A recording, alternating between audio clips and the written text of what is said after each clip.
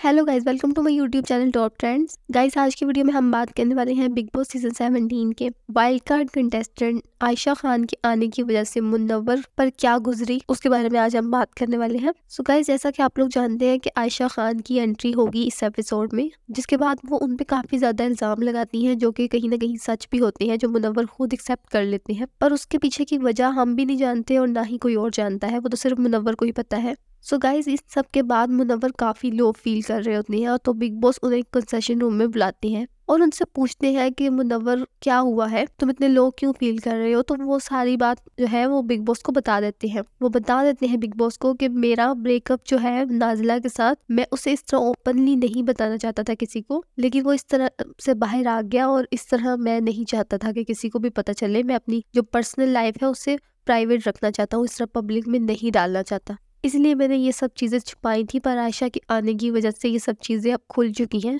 मेरी personal life जो है वो अब खुल के रह चुकी है। सो गाइस आप कमेंट सेक्शन में बताइए, क्या आप अभी भी सपोर्ट कर रहे हैं मुनवर फारूकी को या नहीं?